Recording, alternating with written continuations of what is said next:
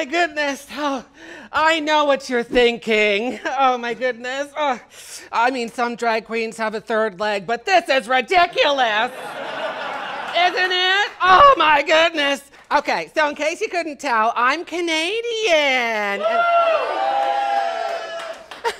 And, if you couldn't tell then, well, now's the boot time, eh?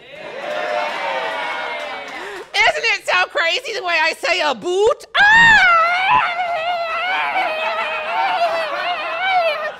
Are you going mental? well, if you think that's crazy, how do you think I feel the way you say it?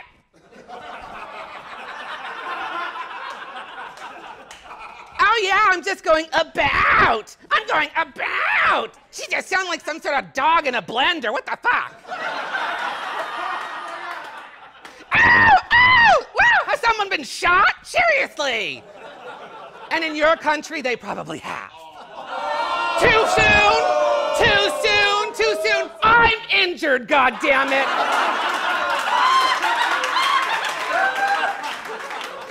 I do have a question for all you Americans here, and I do love you. Oh, seriously, I love. Give a hand for yourself. Okay, now stop. You're too proud.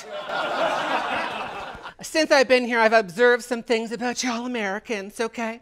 Y'all remind me of my nephew. He's five years old. Seriously, my nephew. It's a good excuse for some people to just get a box of condoms and a dog. Ooh. I know, too far, too far. Okay, okay. Any, oh, I know it is. That's why I told it. I know it's awful. Do you have a problem? Do you want to leave? Do you want to get up and leave? Do you need a crutch for assistance?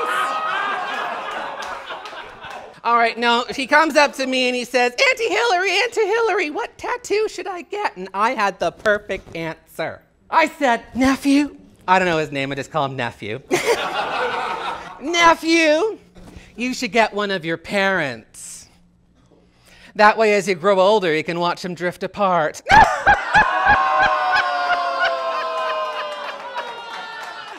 Hillary ass. The time is now. I don't give a fuck. Do you know where your parents are? My nephew sure doesn't. Good night. Our winning camper for the day is Hillary Yaas, eh? And she really was Hillary Yaas. She was hilarious I've finally proven myself.